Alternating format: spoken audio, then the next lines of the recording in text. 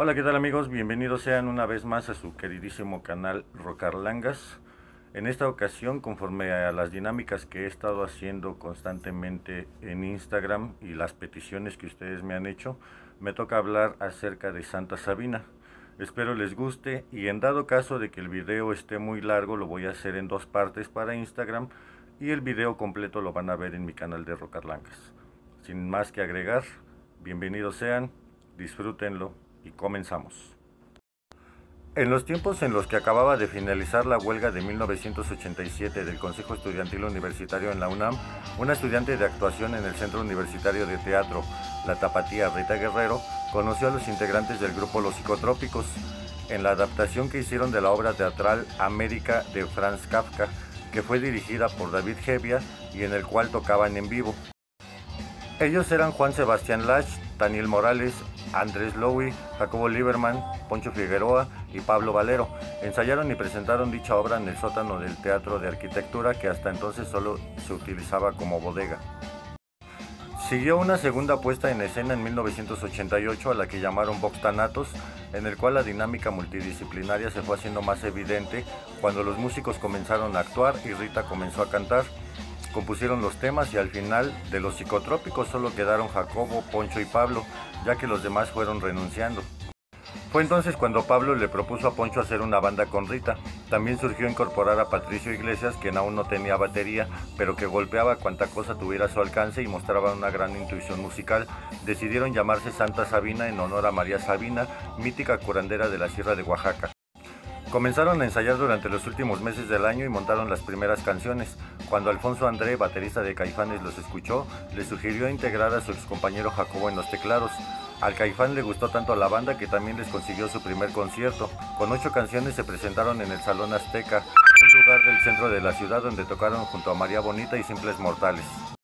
A la par de estos acontecimientos, Rita conoció a la escritora Adriana Díaz Enciso en una fiesta en Guadalajara. Adriana le propuso a la nueva banda participar en un concierto que ella estaba organizando en contra de la construcción de la planta nuclear en Laguna Verde. A partir de estos conocieron a la que más adelante se convertiría en la colaboradora más cercana del grupo. En un primer acercamiento, Adriana fue la segunda representante de Santa Sabina, ya que la primera fue Úrsula, la novia de Patricio. Como buena artista no hubo una diplomacia ni el temple para manejarlos, así que no duró mucho en ese papel, todos se dieron cuenta de que era mejor poeta que manager, por lo que su relación continuaría por el lado de la colaboración en las letras. Comenzaron a tocar en el circuito de foros de la Ciudad de México, en lugares como Rocotitlán, la última caída de la Cumbancha, el Bar 9 y en diversas manifestaciones. Ensayaban en un lugar que les rentaba el director de cine Alberto Cortés, quien los invitó a participar en su película Ciudades Ciegos, junto a Saúl Hernández de Caifanes y Sax de Maldita Vecindad. Los primeros intentos por grabar su música no fueron muy acertados, si bien la canción que te pasó de su primer demo terminó en una compilación de discos de Rocotitlán, tiempo después mientras grababan un video en el Salón Margo para el programa de videos Águila o Rock, en el que Rita también era compositora, se les aparecieron un par de personajes que les ofrecieron grabarlos y ofrecerlos a algunas compañías. Sin experiencia en la negociación con los productores, cometieron el error de firmar un contrato de exclusividad con ellos. Quisieron imponerles un productor artístico con el que no se entendieron y las cosas se estancaron. Sin embargo, no les faltó el trabajo. Fue una época de mucha actividad. Crearon el espectáculo Ya no me caben las flores en el cuerpo, que fue el primero en el que usaron flores y veladoras, creando un espacio místico y ofreciendo al público elementos adicionales a su música. Adrián escribió algunos textos que se leían entre canciones. Los presentaron en la última caída de la Cumbancha y también tocaron en lugares como el Tutti Frutti, Rocotitlán y aparecieron en el programa de Alfonso Teja, Eco, Música sin Fronteras, de Televisa.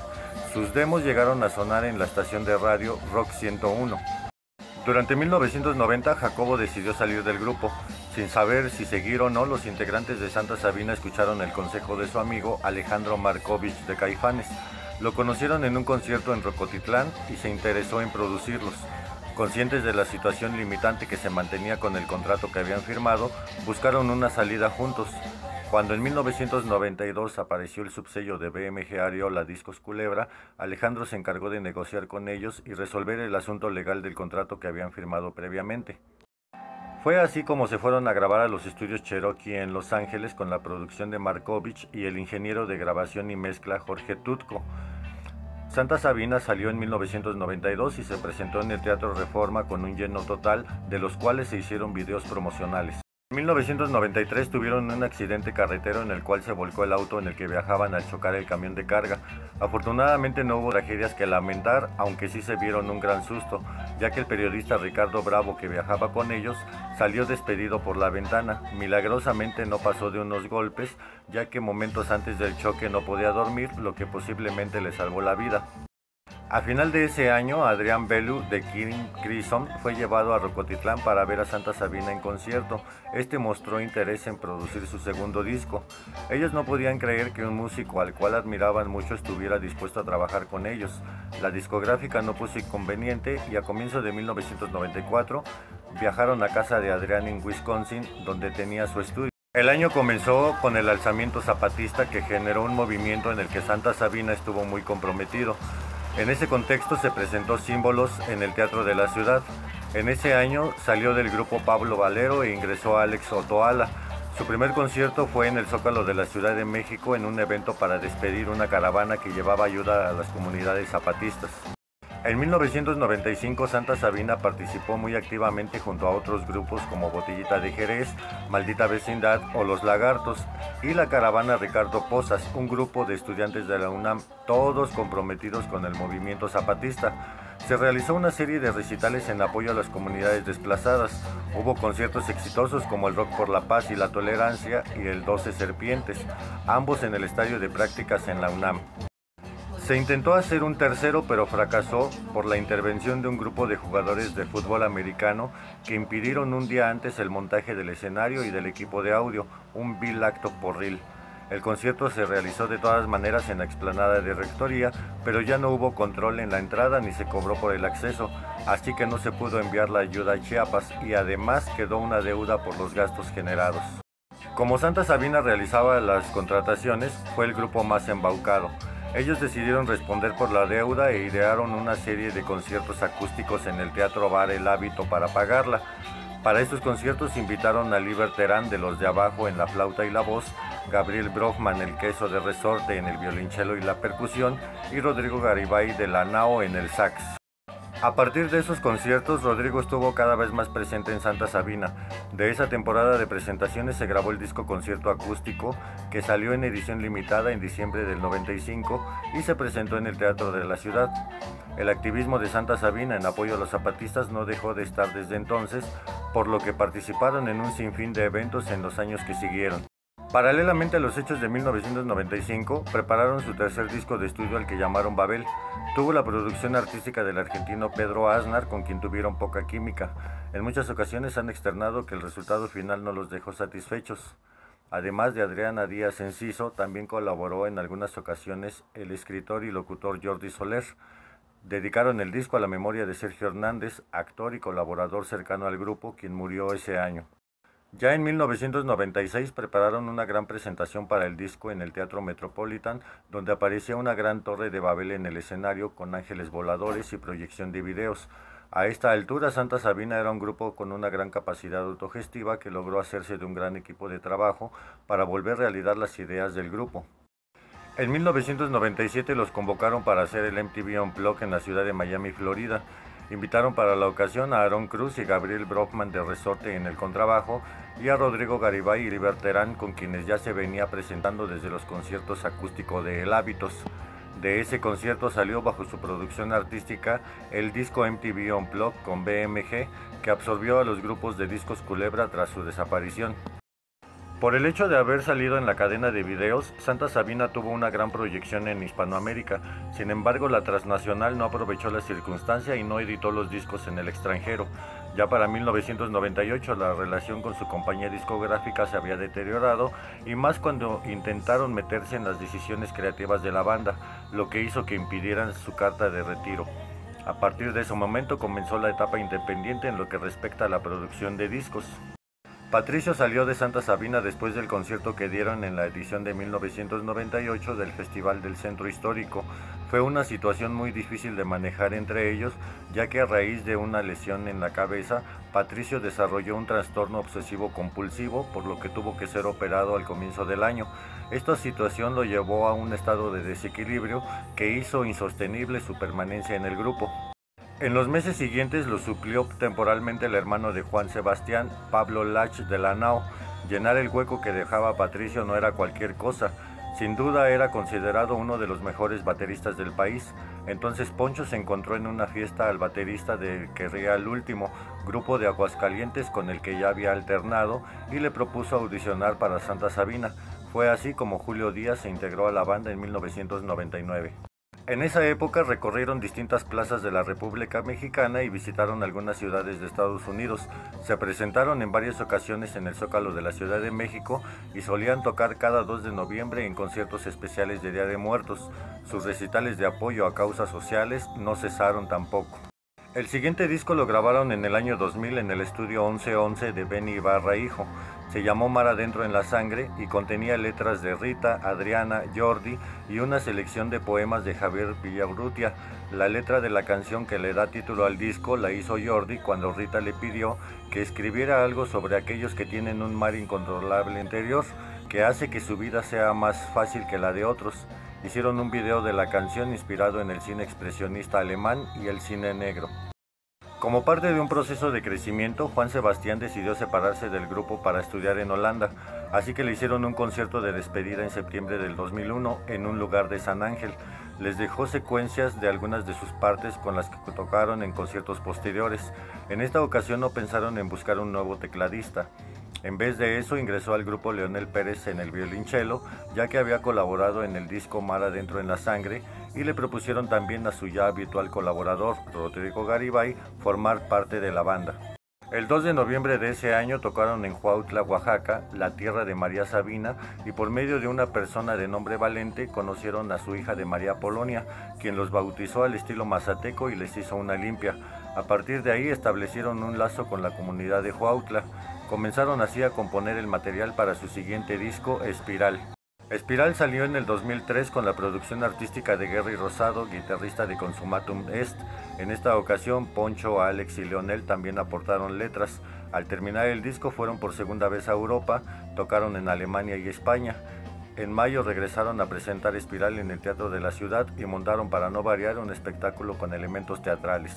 Al final del año abrieron el concierto de King Crimson en su visita a la Ciudad de México.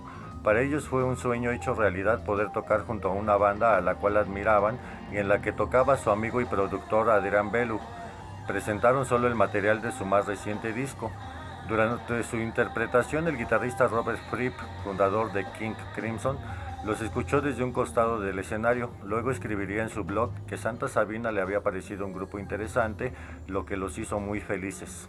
Para entonces sus presentaciones habían incluido foros en toda la República Mexicana. Festivales como el Cervantino y el de la Raza para la Raza abrieron un concierto de caifanes en el Palacio de los Deportes y tocaron en el Teatro Blanquita, en el Museo Universitario del Chopo y en el Hard Rock Live. No faltaron tampoco los conciertos de apoyo en las comunidades indígenas. Rodrigo Garibay se despidió del grupo y entró en su lugar Aldo Max de los músicos de José por sugerencia de Alex. Su primer concierto fue en noviembre y con él comenzaron a enfilarse a los festejos por sus 15 años. Para esta celebración decidieron realizar un recorrido por todas las etapas de la banda. Hicieron una encuesta por las redes para que su público definiera qué canciones no podrían faltar. Llegó el 20 de marzo y llenaron el Metropolitan donde tocaron casi por tres horas y media apoyados por imágenes de toda su historia. Coronaron la noche con la participación de Pablo Valero y Patricio Iglesias. El resto del año tuvieron presentaciones esporádicas hasta que el 19 de diciembre anunciaron en un concierto que dieron en el Zócalo de la Ciudad de México y antes de ese concierto de su público la necesidad de tomarse un año sabático para renovar energías y replantear el curso de sus vidas. Asimismo, en los primeros días de 2005 subieron un comunicado a su sitio oficial reiterando esta idea. En ese año salió a la venta el disco doble 15 aniversario en vivo que grabaron en el concierto del Metropolitan el año anterior. Iba acompañado con un DVD que incluyó videoclips, documentales y una colección fotográfica de toda su carrera. Este mismo año, Poncho, Alex, Leonel y Julio graban con el Aragán y compañía el disco Toque de Queda, con composiciones de Luis Álvarez y los arreglos de los músicos de Santa Sabina. Este disco ve la luz a finales del 2005. Su siguiente aparición fue en el Festival Vive Latino del 2008 y fue seguida por una serie de presentaciones que incluyeron Monterrey, Tijuana y Torreón. Fueron anunciados en el cartel de la Sexta Noche de Primavera, organizada por el gobierno del Distrito Federal en 2009, pero ya no se presentaron. Al comienzo del 2010 a Rita se le detectó cáncer de mama, un mal que ya había quejado a otras mujeres de su familia. Comenzó a tomar su tratamiento de quimioterapia, pero al sentir que no tenía resultados recurrió a la homeopatía. En diciembre se hizo un concierto en su apoyo en el Teatro de la Ciudad, en el que participaron entre otros La Lupita, Julieta Venegas, Maldita Vecindad, Frata y Monocordio. En esa ocasión participaron juntos todos los integrantes de Santa Sabina es decir, Rita Guerrero, Alfonso Figueroa, Pablo Valero, Patricio Iglesias, Alejandro Otaloa, Juan Sebastián Lach, Julio Díaz, Leonel Pérez y Aldo Max Rodríguez, sin saber que sería su último concierto. Rita Guerrero falleció a los 46 años el 11 de marzo del 2011 en el Instituto Nacional de Cancerología. Se le veló y se le rindió un homenaje en el Auditorio Divino Narciso de la Universidad del Claustro de Sor Juana, en el que ella fue profesora de canto y directora del coro estudiantil. A este homenaje asistió muchísima gente, entre músicos, alumnos y seguidores. Hubo música y despedidas. También se presentó el coro que ahora lleva su nombre, Coro Virreinal Rita Guerrero. Hasta aquí concluimos con la historia de Santa Sabina, recordándoles que próximamente volveré a lanzar la dinámica en Instagram para que ustedes pidan su banda favorita. Y la próxima, pues me tocará hablar de Panteón Rococó. Muchas gracias por ver mis videos, espero que les haya gustado y les recuerdo una vez más, el rock es cultura, consúmanlo a diario. Hasta luego. Mi piel empieza a despertar al fresco esplendor de lluvia luminosa que acalla la ciudad. Brincar cada esquina, subir edificios, viajar en puentes caídos. Siempre estás ahí, colgando de todo. Veo una luz que rebasa mi muerte. Veo el amor que me invita a ser fuerte. Veo una luz que rebasa mi muerte. Tía, tía, tía, tía, como de metal, es azul de metal, es azul de metal. Tía, tía, tía, tía, tía, tus manos largas dicen, chiquis, quiero chiqui, chiqui, chiqui, chiqui, chiqui, chiqui, chiqui, chiqui, chiqui, chiquis.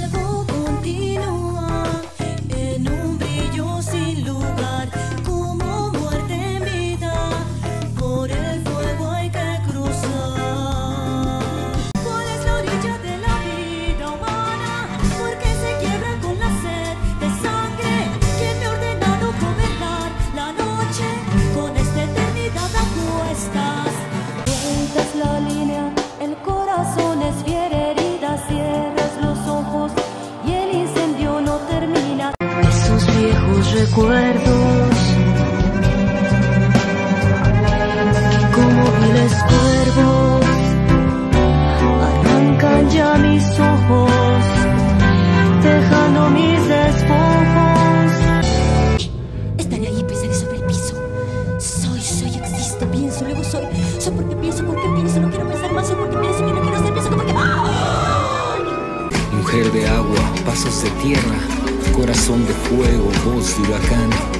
Alma libre trascendiendo todo, fuerza de amor, canto de vida, siempre en nuestros corazones, tu luz brillará.